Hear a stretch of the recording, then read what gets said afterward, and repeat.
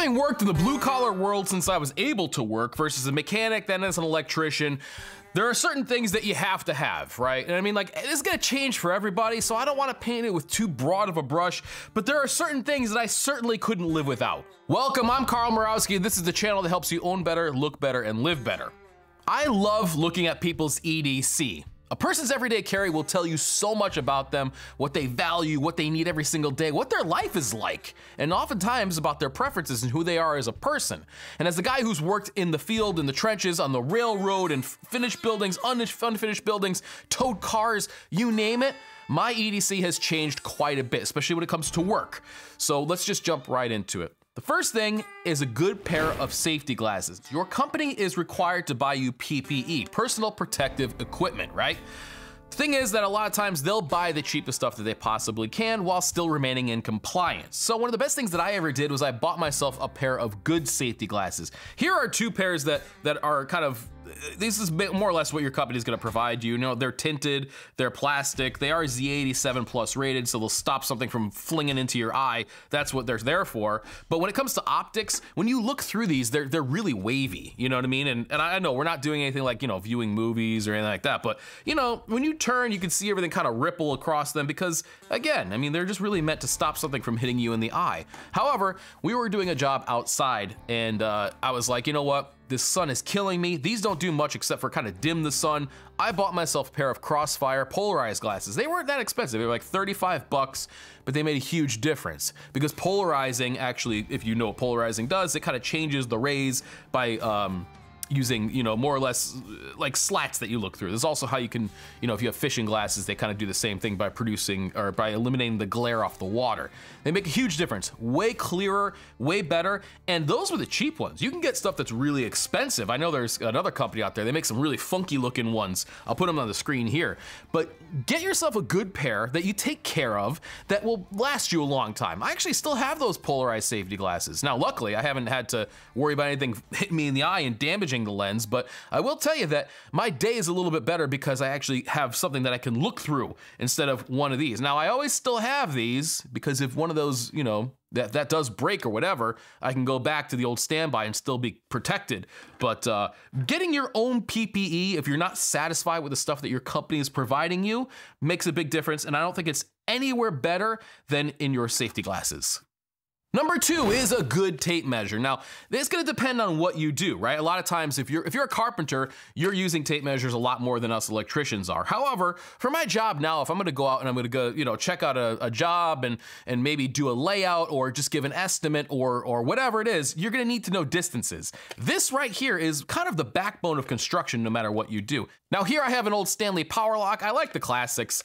This thing works really well. Now the Fat Max definitely stands out further. So if you're gonna measure something out, you can, and it's um, you know, it's a lot easier to do layout that way. So these things are great, but I will tell you that I found something that's even better, and that would be a laser tape measure. Now, this is from Bosch. I know almost every company makes these now. I have found, though, that usually the more expensive they are, the more accurate they are further away. Something like this, I mean, let's face it, you're not gonna do trim with this. You're not gonna go and, and do anything that's really crucial. But when it comes to general layouts, okay, I need, for the other day, I was, I was in a utility room of a hospital. I needed to know how far away a panel was, and there was all kinds of junk in the way.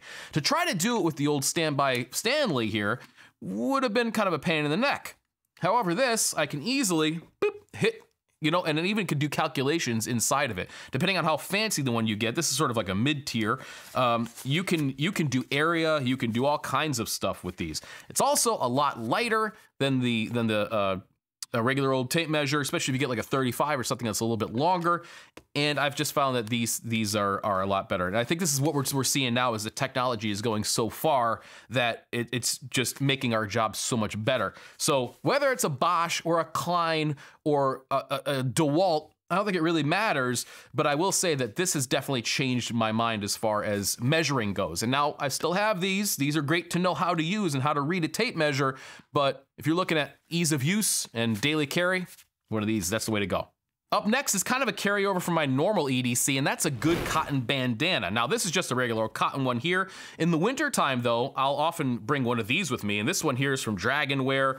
This is more or less, I've seen them called a couple of different things. I've seen them called buffs. I've seen them called, uh, I don't know, neck gaiters or whatever. More or less what they are is just a round piece of fabric. And the nice thing about this is that you can put it on, you can wear it on your neck if you have to. Let's say you're doing something where you know, you don't necessarily want to breathe in whatever is there. You can kind of pull it up as a, a quick first line of defense. It'll never replace a respirator, but um, and then finally, you could always wear it on your head if you wanted to. And these things are so useful. I will tell you this: I have used my bandana as a a quick bandage plenty of times because you could just take it, fold it in half, wrap it around your hand, which just tends to be where I cut myself. Um, one time I actually caught myself with a band uh, a bandsaw right there uh, stopped the bleeding, was able to kind of go over and, you know, get first aid and stuff like that. This thing has also saved my butt when I had to work outside. Now, guy like me, I don't have a whole lot of hair. And there are certain times when you're working on jobs, residential or places where they don't require a hard hat, okay? So I was outside and we had to do some exterior wall packs. So we're putting a, a, extension ladder up against the building, going up doing wall packs. The thing is, when the sun came around, it was hitting us hard and I could feel myself getting sunburned. Luckily, I had an emergency head covering that I could put on. So I put that over the top of my head. I was able to cover my neck, the back of my head, and not get too burned that day. The use for these is is just it, it doesn't stop. When you need a rag, if you need something to grab something that's hot. Uh, I mean, any number of things. And the great thing is that they're cheap. They sit in your back pocket. You don't even know they're there until you absolutely need it, and then you pull it out. You will put one of these in your back pocket, and I guarantee you, you will use it way more than you ever thought you would. One step above that is something like this. I believe this is also fire rated. It has all the OSHA stuff in here. I'm not going to waste your time talking about that, but you know, something like this, if it's FR rated or whatever, um, you can get by with something like this if cotton isn't quite your thing.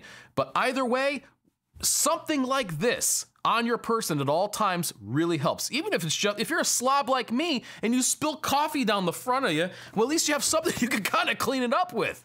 One of those things is so valuable. Next up is a blade of some sort. Now, back in the day, maybe they would carry something like this. Now, this is the old Stanley 199. I am not old enough to have carried one of these. I have it because I think they're cool.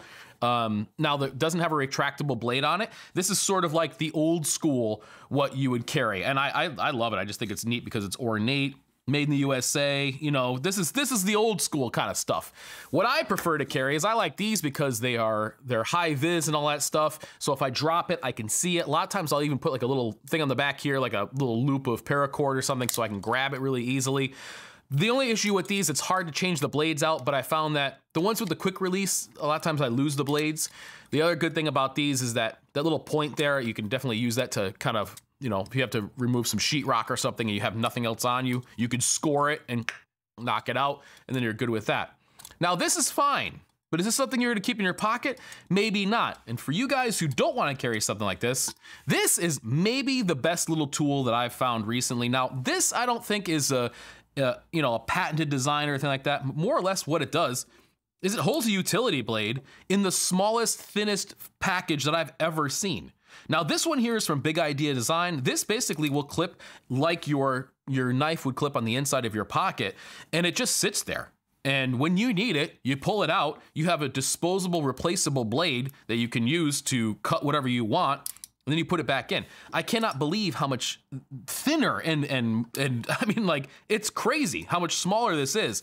Now, does this have all the function of this? No. I mean, if you're going to be doing cutting all day every day and you need something that you could put your whole hand around to be able to cut, I mean you're cutting carpet or something like that, you're gonna want something like this, something that's dedicated. But if you're a guy who just cuts occasionally and you don't want to use your nice, you know, tactical folder or something like that, this guy right here, these utility blade pocket knives are in, they're amazing. Now it comes with this little tri-blade thing on here, which I think is actually used for like a fork in some situations, which I've also forgotten my fork on occasion. But I have yet to meet somebody who doesn't occasionally need a good cutting tool. Whether it is something like a dedicated utility knife or something like a pocket knife that you can keep or something like this, I think that uh, you, you really are going to be going out there naked if you don't have something that you can cut things with. Next is kind of a twofer, and that is a decent pocket notebook. I know what you're gonna say, I have notes on my phone. Yeah, sure you do. It's really difficult though to draw something out and show somebody what you're talking about, uh, like a diagram or something like that, on a phone. It's not impossible, but it's a heck of a lot easier with something like this. You can also tear out a page and give it to them, like if you're gonna give the apprentice maybe your coffee list that you have to go and get, uh, uh, whatever it is, okay?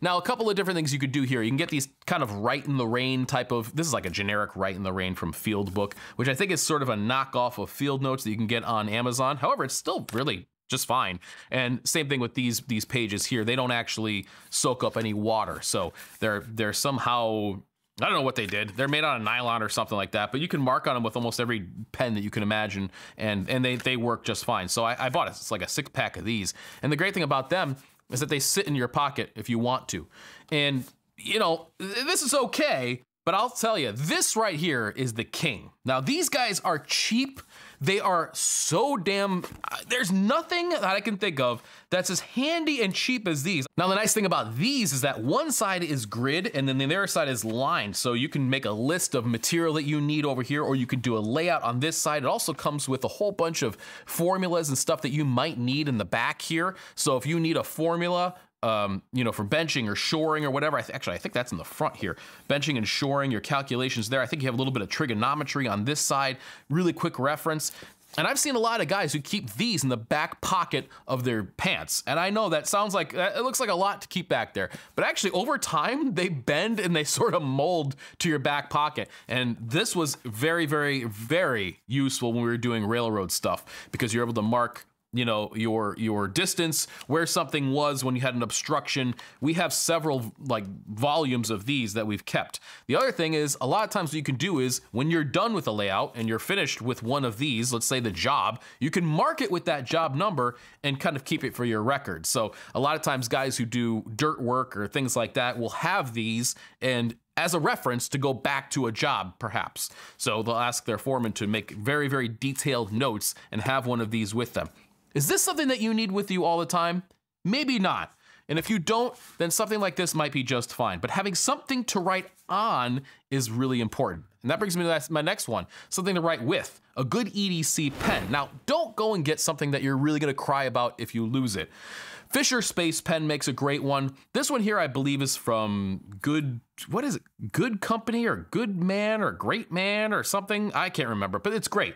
I prefer the ones that you click.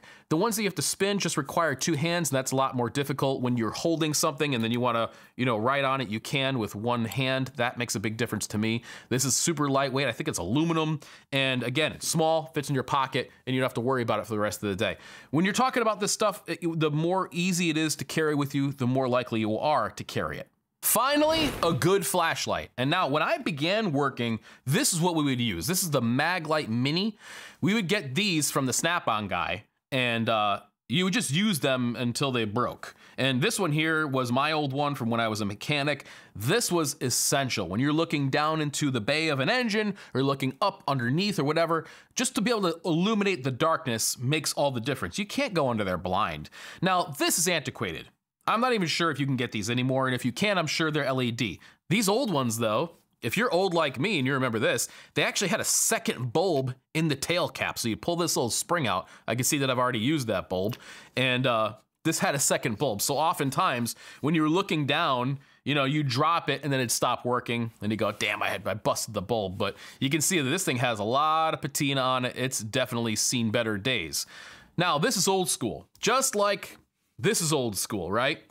So modern day, this was the one that I bought to replace it. This does not exist anymore. This is from the company Fenix. This is their old TK12. It still works great. Now, I replaced this with this. This doesn't work anymore. This stopped working a long time ago. This one still works. Now, since this doesn't exist anymore, and you know, it's a nice bright flashlight. I think that it was 270 lumens or something like that.